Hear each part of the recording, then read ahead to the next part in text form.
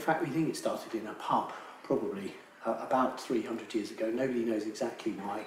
But I think it was an opportunity for the lay clerks of the three cathedrals of Hereford, Worcester and Gloucester to get together and spend some time together, have some drinks and do some singing. And from that, I think it became formalised in the early years of the 18th century and, and started rotating between the three cathedrals. The organisation of the three choirs initially was through the cathedrals themselves when the choirs got together and the gentlemen would sing.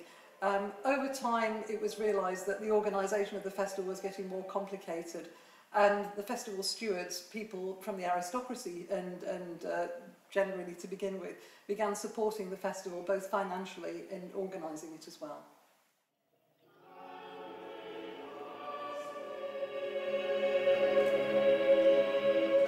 Was in about 1720 when Bishop Bisse preached a sermon about the need to support uh, the widows and orphans of clergy, because of course at that time when a clergyman died, his wife and children would be forced out of the house literally straight away and, and would be destitute in many cases.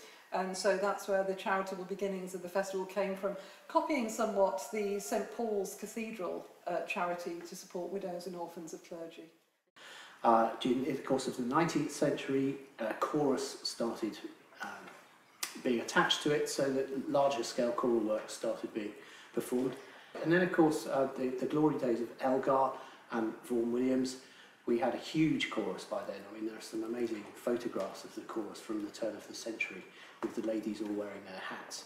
Way up, uh, you know, a, a huge, great stage that goes way up into the ceiling practically. I'm sure health and safety wouldn't wouldn't permit it today.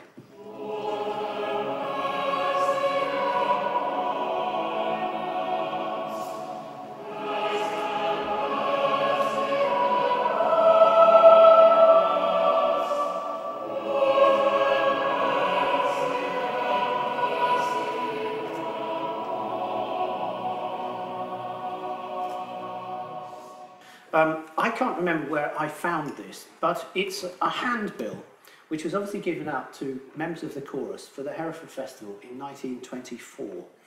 And there's a few things about this which we would find utterly uh, extraordinary and incomprehensible and just impossible now. First of all, the festival used to take place in September, the first week of September, and it actually did until um, the late 1960s. So you think everybody's been on holiday for all this time, they come back and suddenly they have one day of rehearsal. And let me just tell you how that went. This was Thursday, August the 28th, 1924, 2.30 p.m. till 5 p.m.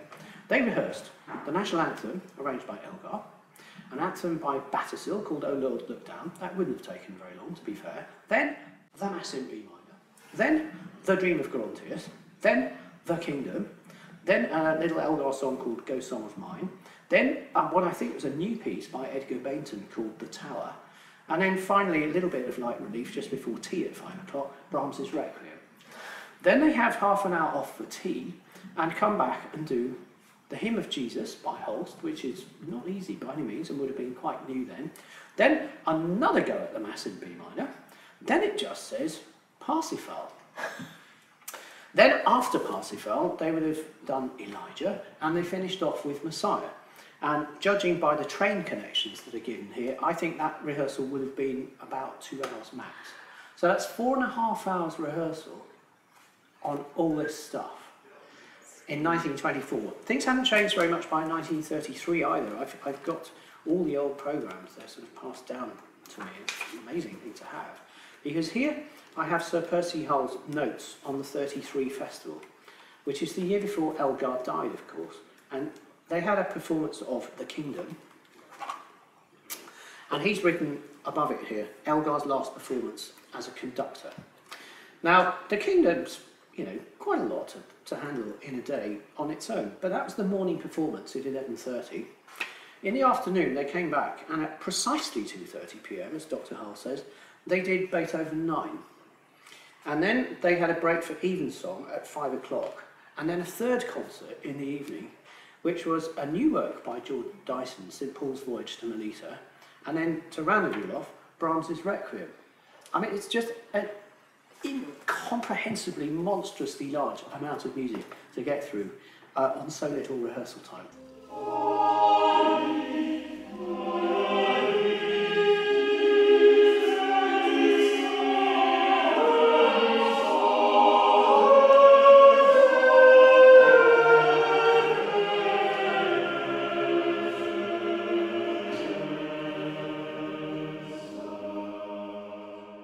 The thing is, I, I wear two different hats because I'm the artistic director of it. So for my sins, I'm, I'm responsible for, for the content of it. And obviously the planning for that started really not that long after the last Hereford Festival. I remember a meeting with, with people from the Philharmonia in autumn 2012 to talk about repertoire for this. And then we have to put that all together. We announce the whole programme a whole year before the festival, at the previous year's festival. But now we're actually in the run-up to it and preparing it. So here I am today, halfway through our second rehearsal day with the three cathedral choirs. We just spent two hours with the choristers looking at music for Evensong, which includes a world premiere of, a work by Bob Chilcott that's been written for us. Then next Saturday we have the first of our Saturday mass rehearsals for the chorus.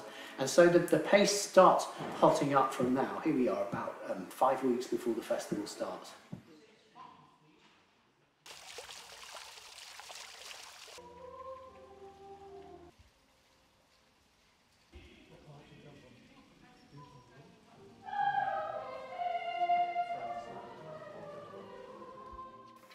I think it is the local interest in the festival that's kept it going, the fact that local people have been happy to support the festival, but then drawing in people from elsewhere as well, from across the country and across the world, and being able as well to draw in composers to produce works for the festival.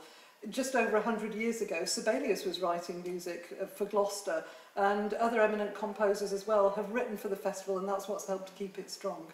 Yeah, well, we're delighted to be giving the world premiere of this today. Uh, we, we contacted Bob Chilcott some months back to ask if he'd be interested in, in writing this commission for us. We wanted to commission some new canticles because we wanted to commission something that was useful, which we hope will enter the repertoire. And he very kindly agreed to take that on. And it arrived a few weeks back. We had one sing through of it at our first rehearsal last May, months ago. And I think basically everybody's learnt it in the last week amongst everything else they've had to do. And at 5.30, or shortly afterwards, we'll be doing the world premiere on it. Looking forward to that very much.